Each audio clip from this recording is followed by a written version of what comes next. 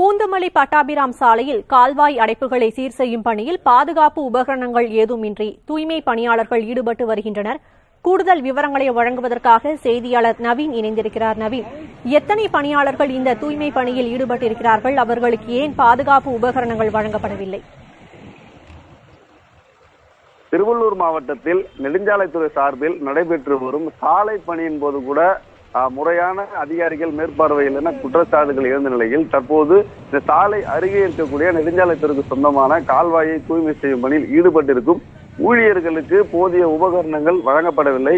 அதே போன்று அந்த ஆள் உயர இருக்க கால்வாயில் எந்த ஒரு பாதுகாப்பு உபகரணங்கள் இன்றி ஒரு மூழ்கும் முளை நிலையில் இறங்கி அவர்கள் தூய்மை செய்து வரும் காட்சியை தான் நேரடியாக பார்த்து வருகின்றோம்.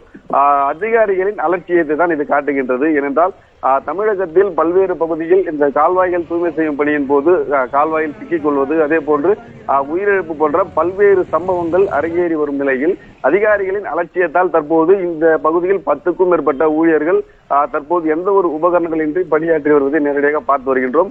பூந்தமல்லியில் இருந்து பத்தாபிரம் செல்லக்கூடிய பூந்தமல்லி பகுதியில் தான் இந்த பணியானது நடைபெற்று வருகின்றது.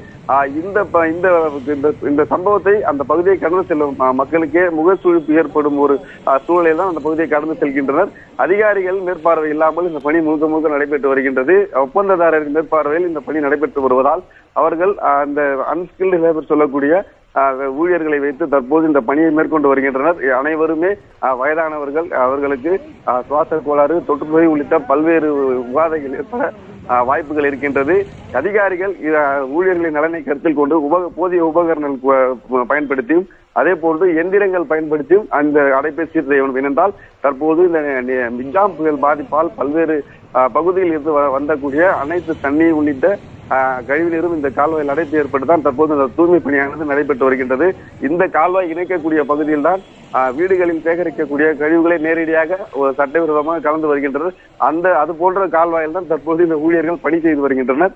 குறிப்பாக இன்று கூட அரசு சார்பில் தூய்மை பணியாளரை பாராட்டு செய்த அதே சமயத்தில் தற்போது இந்த அவல நிலை பூந்தமல்லி அரங்கேறிக்கின்ற சக்தி. விவரங்களுக்கு நன்றி நவீன்.